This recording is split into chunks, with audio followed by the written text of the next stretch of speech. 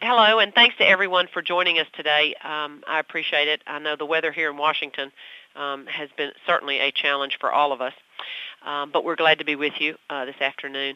The health insurance reform debate began nearly two years ago in the Senate Finance Committee, which I'm a member. The time now is to act. Um, after months of intense work and a full and transparent debate on the Senate floor, um, I will vote for the revised Senate health care plan uh, because it will lower health care costs, expand access to more than 400,000 uninsured Arkansans, and reduce the deficit by 132 billion in the next 10 years, all without a new government plan that places taxpayers at risk. We have fought hard, I have fought hard in both the committee and now in the full body of the Senate to ensure that we could have improved this bill to reach these goals. It may not be the bill that I would have written, but I do believe this final product is a significant improvement from the status quo. This final Senate bill changes the way insurance companies do business to offer uh, families more stability and to reassure our small businesses and self-employed that health insurance companies will no longer dictate their bottom line.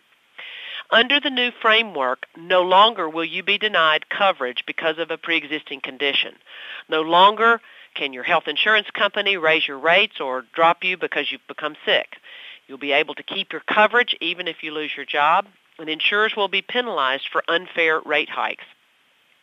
Seniors will be guaranteed the same guaranteed Medicare benefits or better benefits than they receive today, despite uh, disingenuous claims to the contrary. Small businesses will get the help that they need to access coverage, placing them at the competitive advantage larger corporations have enjoyed for years.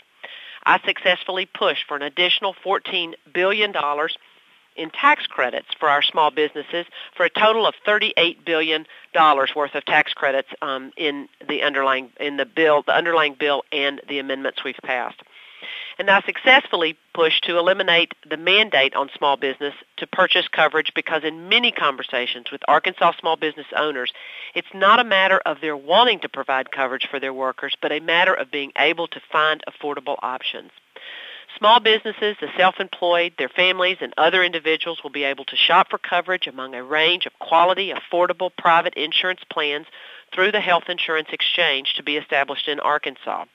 Within the exchanges, the state exchanges, we have set up a program similar to the federal employees health program. Insurance plans can be sold nationwide, multi-state nationwide plans with a proven federal negotiator, the Office of Personnel Management, that currently administers plans for federal employees to help it keep their insurance rates affordable and ensure plans are abiding by fair rules.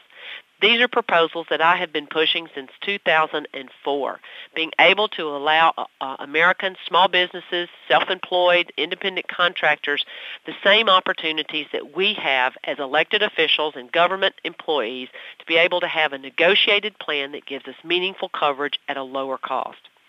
Now that the Senate is nearing the end of this long road and it is clear my goals have been met, namely expanding access to 31 million Americans and more than 400,000 Arkansans, and changing the way insurance companies do business without adding to the deficit and placing taxpayers at risk with an expansion of government.